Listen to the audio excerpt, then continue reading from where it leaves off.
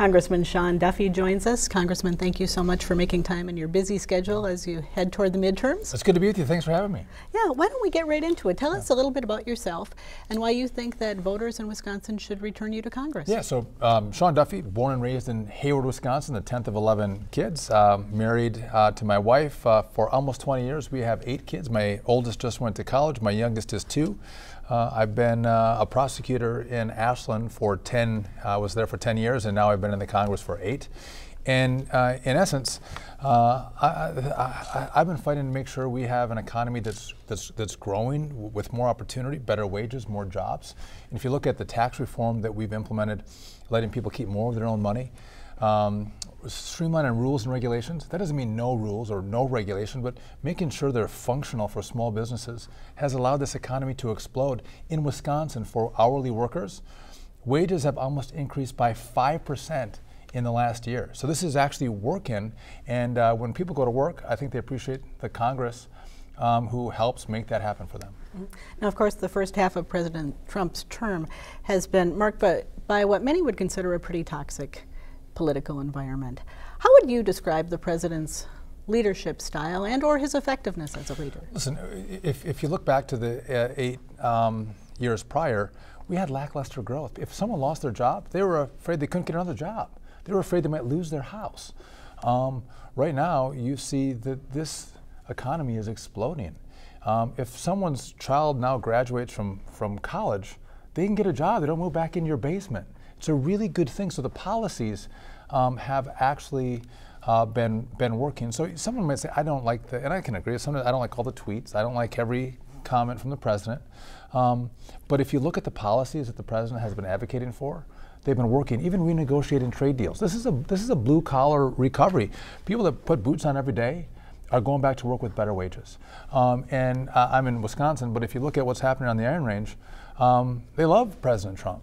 Uh, I was just at a factory, um, a welder uh, a couple days ago who was saying, I've been a Democrat my whole life, but President Trump's fighting for me um, in my job, and I voted for him in 16, and I'm, I'm not going to end because the success of the policies. Mm-hmm.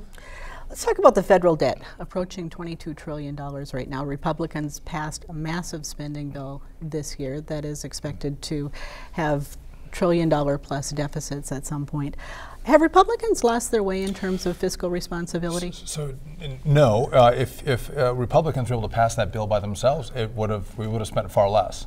But we're stuck. Even though we have the House is Republican and and the Senate's Republican, uh, there's this filibuster rule. So you need 60 votes to pass any bill in the Senate, and that means Democrats in the Senate can say no, we're not going to vote for this unless you spend more money. And that's actually what happened. So they were able to drive up spending to get a deal so the government didn't shut down.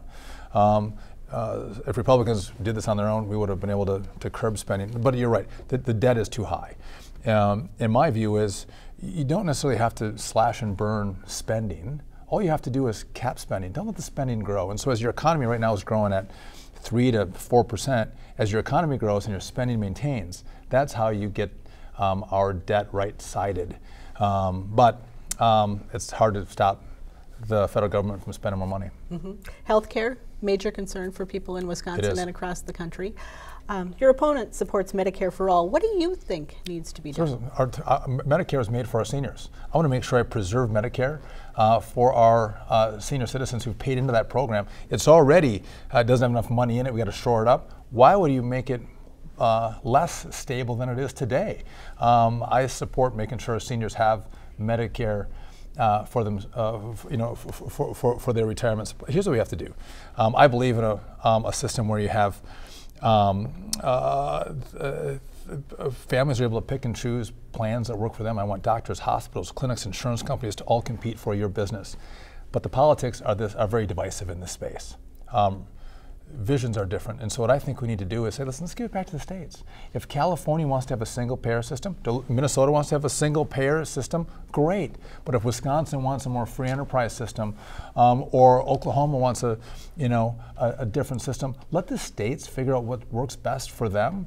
And uh, in the end, after you know five, ten years, we'll see which state uh, offers the best health care at the best price. I think that's the, the, the way we, we can move forward and get liberals and conservatives to agree on a pathway forward. Because right now, everyone's going, going in different directions, and healthcare is not working for American families. Do you think any solution, even at the state level, needs to preserve protections for those with pre-existing I do. conditions? So uh, listen, every family has a family member um, with a pre-existing condition. So um, I think that should, yeah, that, that should no doubt be the case. And in Wisconsin, before Obamacare, we had coverage for those with pre-existing conditions. And uh, you want to make sure that people who, who have that uh, pre-existing condition can always access health care. You don't want to exclude a group of people from accessing, pricing them out of health care. But I'll just tell you right now, a lot of promises were made in Obamacare that haven't come to pass. Um, and I mean, prices have gone up. In, so really right now, healthcare, if you're really rich, it works for you. If you're really poor and you get a subsidy, healthcare works for you. But if you're in the middle, your prices have increased and, and you can't afford healthcare coverage. It's kind of like college, same kind of thing. anyway, my, my daughter's going to college. So I bring up college. So. I just put three through. I know that. you know you do. As we mentioned, the, the country's very polarized right now. You could see that with the Kavanaugh hearings. Is there still room in Congress to reach across the aisle and work with the other parties? So, so uh, America sees the tax debate, the healthcare debate, and no bipartisanship. So I'm going to be honest. I work with Democrats all the time.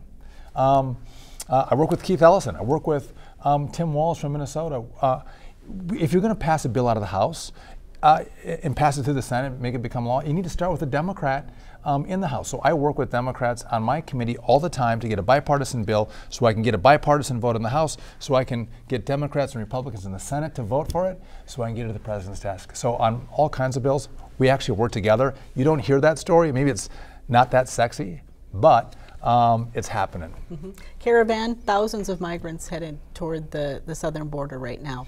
If and when they arrive, what do you think should be Listen, done? uh, uh, if you don't have if you don't have a border, I agree with President Trump. You don't have a country. Um, you just can't have people say we're going to you know storm into uh, your country without your permission or consent.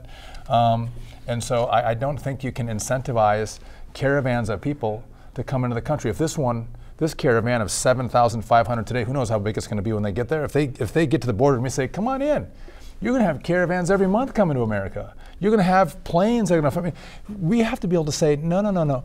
We have an organized system in which we let people come in to America. We evaluate people. You just can't say, I'm going to get in a caravan and, and storm your country. It's, uh, it, it, that's, not, that's not the way we should do it. And so um, I think we have to push, pu- pu- push back on the caravan. And I'm a believer that we need immigration reform. And I would tell you this the, the, the, there's a lot of uh, bipartisanship on how we fix this. There's not a lot of differences, and that surprises people. But you know, from border security, give people legal status who, are, who have been here working, who haven't committed crimes. Um, deal with the DACA kids. Um, let a work visa system happen so you can bring people in. And so instead of walking, you know, four, you know, several thousand miles across uh, these countries, let them fly into our America with a work visa. Let them fly here. It's way safer. And then um, we have internal enforcement like an e-verify. Um, I, and, then, and, then, again, you have border security. I think that's the, an, an, easy way to deal with immigration reform. So if people are coming across the border unlawfully, we know they're running guns or drugs or human trafficking. But just one, one last point. We are almost out of time. I know we are. We, we are out of time. We, we, have a, we, have, we have a drug crisis in this country and in our communities. And those drugs are coming across the southern border. It has to be secured. All right. Congressman Sean Duffy, thank you so much for making time to visit with us. Thanks for having me. Appreciate it. Appreciate it. Thanks.